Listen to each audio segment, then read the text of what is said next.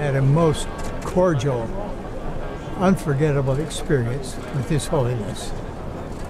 He was most gracious and warm and welcoming.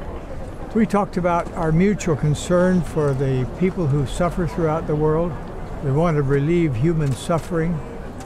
We talked about the importance of religious liberty, the importance of the family, our mutual concern for the youth of the church, and the need for people to come to God and worship Him, pray to Him, and have the stability that faith in Jesus Christ will bring to their lives.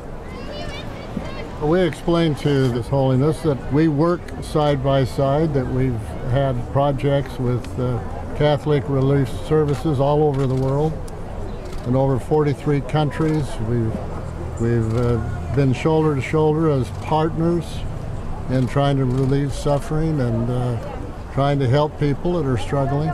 We gave to him a miniature replication of Thorvaldsen's statue of the Christus, and he gave us a gift of his declaration on the family. What a sweet, wonderful man he is, and how fortunate the Catholic people are to have such a gracious, concerned, loving, and capable leader. For me, the moment when President Nelson actually embraced the Pope and they gave each other a hug as we left was everything. And a greeting in everything. Spanish. He's a dear, wonderful, humble, competent, gracious man.